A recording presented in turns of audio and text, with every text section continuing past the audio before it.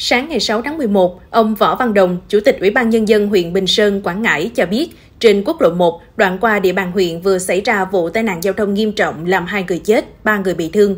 Cụ thể, lúc 5 giờ cùng ngày, trên quốc lộ 1A đoạn qua xã Bình Nguyên, huyện Bình Sơn, xe ô tô 7 chỗ do tài xế T, 34 tuổi, xã Điện Minh, thị xã Điện Bàn, tỉnh Quảng Nam điều khiển, lưu thông theo hướng Bắc Nam và trên xe chở 4 người, bất ngờ đâm vào giải phân cách giữa đường quốc lộ 1. Cú va chạm khiến tài xế tử vong tại chỗ. Người đi cùng trên xe là chị L, 22 tuổi, trú phường Điện Ngọc, thị xã Điện Bàn, bị thương nặng. Được người dân đưa đến trung tâm y tế huyện Bình Sơn cấp cứu. Tuy nhiên, do vết thương quá nặng nên chị L đã tử vong. Có 3 người còn lại trên xe bị thương, đang điều trị tại bệnh viện.